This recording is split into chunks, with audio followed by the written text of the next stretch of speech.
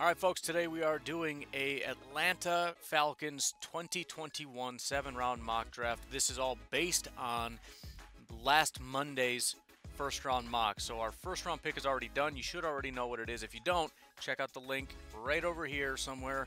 Um, that'll take you to it. You can kind of run through that first round mock, get a little bit of my thought process on it, etc., etc. Although this one's pretty straightforward. Still, should go do that for me. Otherwise, let's get started. With the eighth overall pick in the 2021 NFL Draft, the Atlanta Falcons select Gregory Rousseau, edge rusher, Miami. Again, if you want a little bit more, go check out that first round mock. But the bottom line is we need a lot of help here, um, and I just I just want to get better. I don't. It, it's similar to teams like the Lions where you're trying to figure out what's the best overall direction to go, and I think you can kind of get hung up in that. Um, there's a lot of different things you could do, but I mean, it's just it's a premium position, and no matter what we do, no matter the coach, no matter the defensive coordinator, no matter the GM, any of that stuff doesn't matter the quarterback. Got to have a pass rusher. Doesn't matter the scheme, doesn't matter any of that stuff. We got to have a pass rusher. Gregory Rousseau isn't like the elite guys that we've seen coming out, like Bosa, like um, Chase Young, but he's got the attributes. He's got the build. He's just a little bit more raw and, and just doesn't seem to quite get over that hump. So there's going to be a little bit of work to do, but it's not a deep defensive class. It's certainly not a deep edge class. We're getting the best one in this class, so it is what it is. But uh, he should be a great player for us. With the 39th overall pick in the 2021 NFL Draft, the Atlanta Falcons select Travis Etienne, running back, Clemson. Now, I know a lot of people are saying he's never going to make it this far. I did the first round mock, right? And I had the Panthers go first uh, the next time around. Granted, it's you know there's five teams that probably could have, would have, should have taken him. Whatever, doesn't matter. Point is, he was available. A lot of that has to do with fans typically freak out when you take a first round running back. They hate it.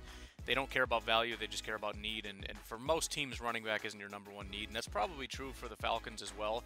But this is a top 15 prospect that just fell to you at 39. So I just I don't want to hear the complaining. I'll be completely honest. The Todd Gurley experiment has been an absolute failure.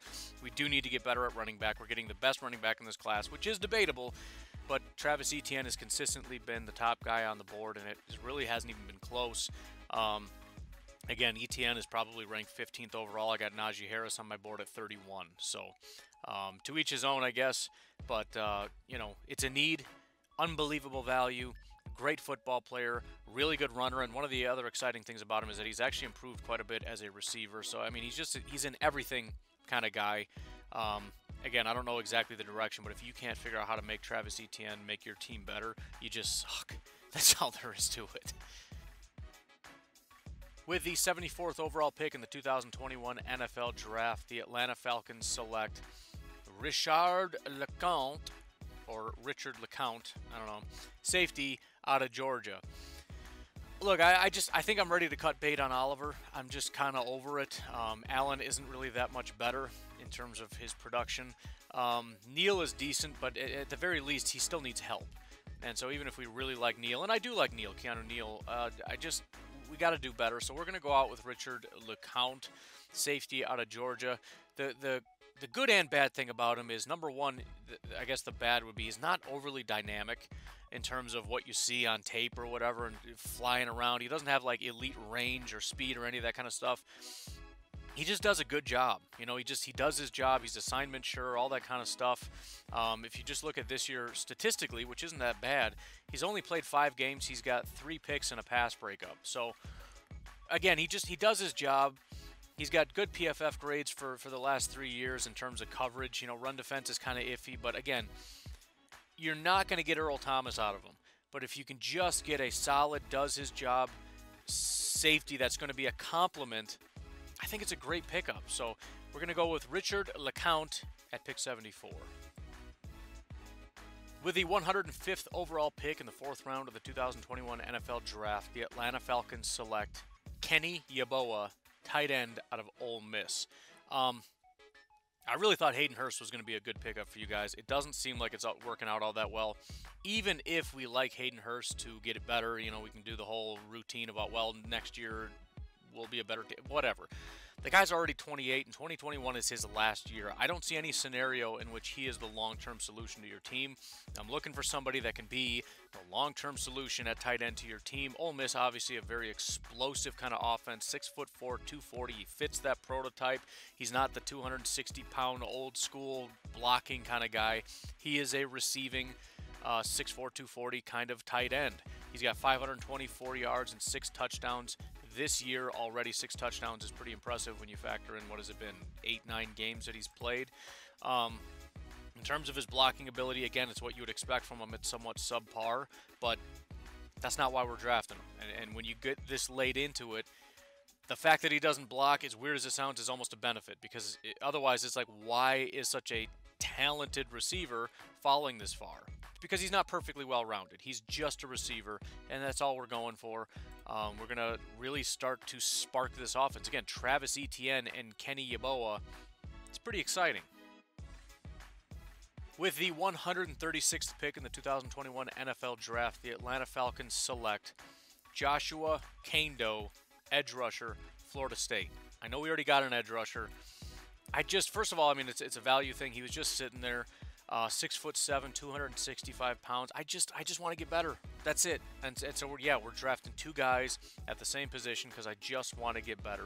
He does have 20. He doesn't have any sacks, which a lot of people are going to look at and say he's trash. But he's got 21 pressures on 208 attempts. That's over 10%. That's solid. That's fine. I mean, in college football, it's not great, but um, it's good enough. So it's it's deceptively low stats if you look at it just from a sack standpoint. But he does have two hits and 19 hurries just hasn't done a hasn't been very successful at kind of closing the deal, I guess.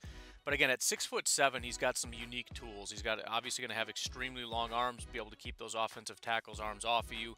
Hopefully, somebody in Atlanta can teach him a couple things to get him after the quarterback and hopefully get some guys down. Um, again, one of the things that is a bad but good thing, I guess, would be the fact that he's not great at anything other than pass rush. I mean, his run defense and his tackling is, is kind of subpar, not a very fundamentally sound kind of guy. But that kind of increases my belief that maybe he, the one thing he can do is get after the quarterback, and I think I'm okay with that at this point. Even if he's a situational guy, even if he's just like a, a third and 15 pass rusher, just put him out. I don't care. What are we in the sixth round, fifth round? So what? So big, massive edge rusher in Joshua Kaindoh out of Florida State in the fifth round. With the 167th pick in the 2021 NFL Draft, the Atlanta Falcons select Marco Wilson, cornerback, Florida. I think we might have something with AJ Terrell. I think he's a good football player. I think, you know, there's plenty there, but my concern is behind him. Now, again, we're in the sixth round, so it's kind of, you know, we're not really looking for that premier player. I'm looking for depth and competition behind AJ Terrell. That's basically it, right? We've got our number one guy. After that, it's kind of up in the air. I mean, I know you can list off, no, our number two is this guy, three is this guy, four is this. I get that. But I'm looking for better competition because I don't actually like it, and they're not locked in, right? Whoever your number two is in your mind, he doesn't have to be locked in because he's not good enough to have won a locked in role. Again, I don't know if Marco Wilson's going to come in and steal the number two job, but number three, number four, whatever again, we, we just we're, we're always looking for competition and depth, and we're going to get that with Marco Wilson at an extremely important position, which is far from completely established. With the 202nd pick in the 2021 NFL Draft, the Atlanta Falcons select Reggie Roberson, wide receiver, SMU. I know wide receiver isn't top of anybody's list, but Julio Jones is getting older, and we have a ton of 2021 and 2022 free agents uh, that are coming up. So I, I just, again, I, I want to keep that going, right? I don't want to get to the point where it's like, okay, now Julio's gone, and now these guys are all gone, so now we have to go out and get somebody. No, no, no, no, no. We got to keep it going. We got to keep it stocked up. And um, again, everything every year is just going like this. You got to have something going like this the other direction. And I like Roberson. He's a, a relatively big dude. He's six foot, but he's 200 pounds. Um, only played four games this year. He's already got 468 yards and five touchdowns. Last year, 803 yards and six touchdowns.